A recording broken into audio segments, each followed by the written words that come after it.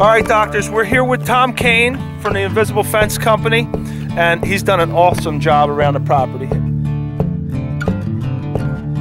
Ah, boy. That's a good boy.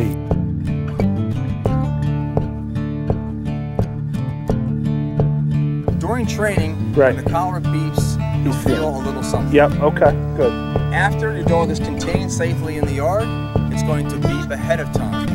For the first training, all we're going to do is walk Max up to the flies so Max knows there's something happening, walk away from the fence, safely back into the safe zone, praise Max, and walk around the yard. It's very Okay. simple. Hey Max. Come on, boy. Come on, Max. Let's go. Among the share the beauty that you never have seen. Start a fire and we'll drink some wine. Can you think of a better way That screen shows you, Kevin, the Yeah. uh, the count. That's how many times Max went near the fence since the last time that I was here.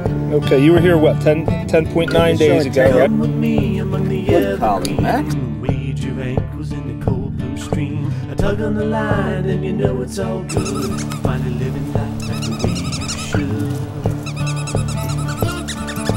should. You can see he wanders over close by the flies. He's not that afraid of it, but he's respectful of it. As we go on the other side,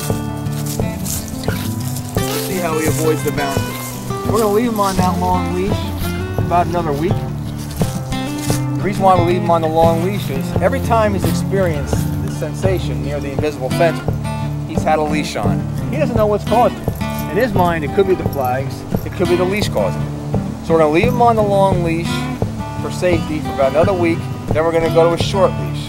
After the short leash, we go to off leash. After off leash, you start removing the flags. Okay. That's how easy it is.